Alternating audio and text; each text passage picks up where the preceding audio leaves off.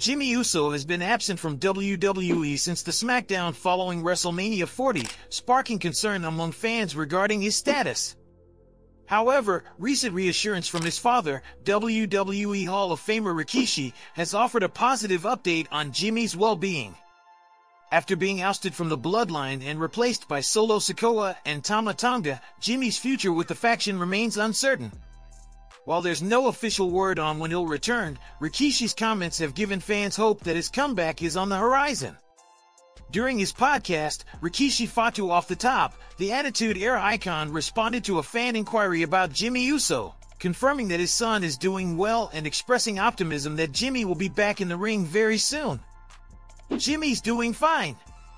I think at any given moment, hopefully, Jimmy will be ready to come back to be able to do what he loves.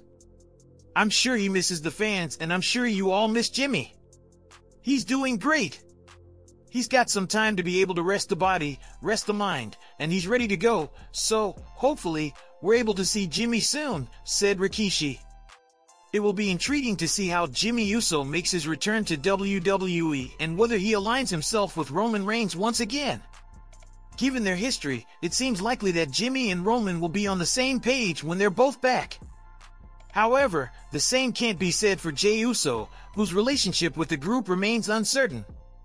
Since leaving SmackDown after Jimmy's betrayal, the Heat Master Jey Uso has been carving his own path on Raw. While a reunion between the twin brothers could be on the horizon, how they resolve their differences is still uncertain. Should the Usos come back together, they may even rejoin Roman Reigns to restore the original bloodline, setting up a potential clash with Solo Sikoa's faction. What's your take on this?